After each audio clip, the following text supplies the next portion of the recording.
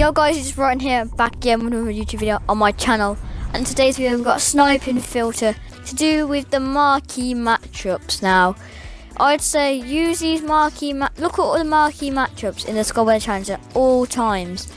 Because there's always different ones that you can do and they actually make you a lot of coins.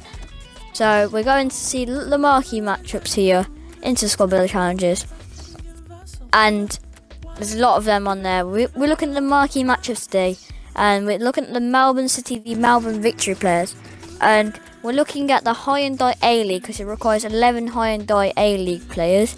So all the Hyundai A League, that's I think it's the Australian league, has just all ris suddenly risen up in price. So today we're looking at the defenders.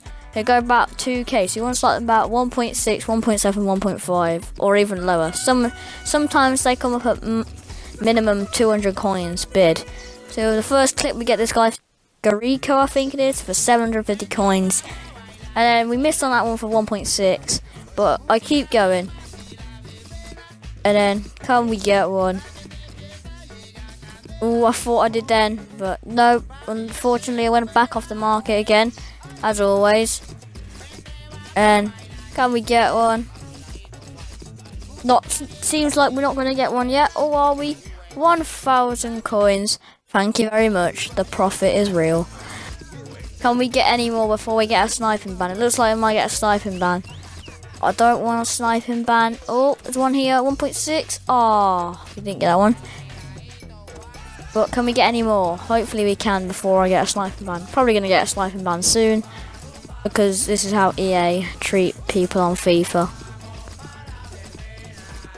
Can we get any more?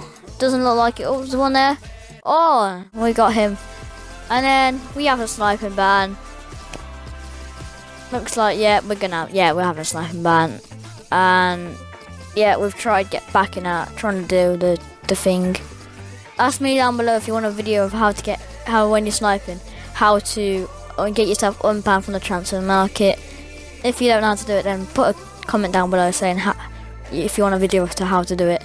And then just quickly look at a transfer list. Three cards there. And thanks for watching.